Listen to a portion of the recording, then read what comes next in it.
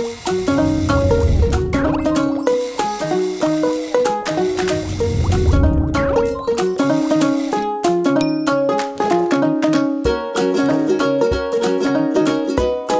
quiero tener una casa que se convierte en una piscina de chuches. En forma de perro.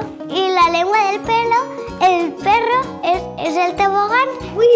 La autocaravana que tenga 10 pisos. Y también que tuviese la montaña rusa porque me encanta la montaña rusa. A mí también. Las casas en las nubes. Oh, lo que guay. ¿Cómo te gustaría que fuera tu casa, Carla? No lo sé. Me gustaría irme a vivir a Urano. Yo a Mercurio. Yo en mi casa quería que tendría una cama que le diera un botón y se ya estuviera hecha.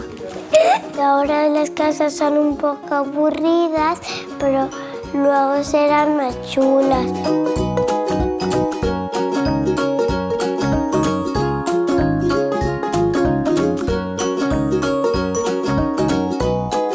Bendita inocencia. Bendita inocencia.